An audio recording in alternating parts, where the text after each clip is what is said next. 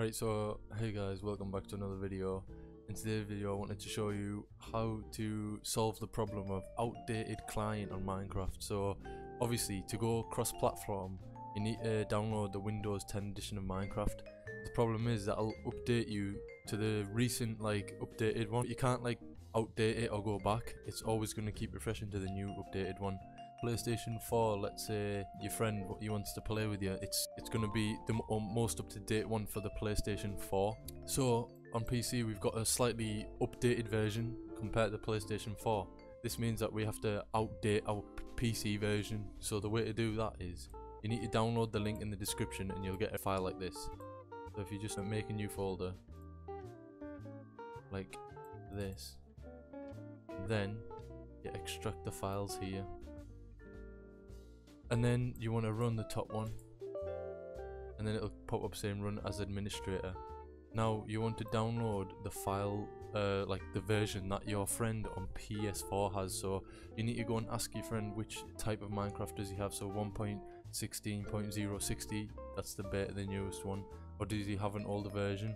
Um, my friend who just yesterday downloaded everything updated it on the PlayStation he had the 14 uh, 1.14.60 so I then downloaded that. And then once you download this as I'll show you you know just in case this file will come up. Once the file's downloaded um, and then open Minecraft as I'll show you. So you just double click on the file once it's downloaded. And then it says this pop-up will say Minecraft for Windows 10 is already installed so it says reinstall or launch, you just press launch. And then your Minecraft will come up, but it'll be the older version as you can see. I mean, I wish I could get rid of these, but this is the version. I don't know if you can see that. It says 1 point thingy 4, so yeah. And then you can just jump into your Minecraft world and absolutely smash it. As you can see. Might as well just quickly show you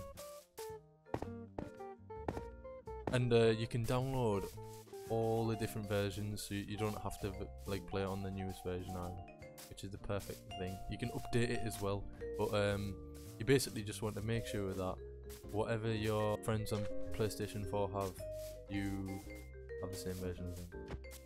So this is my house.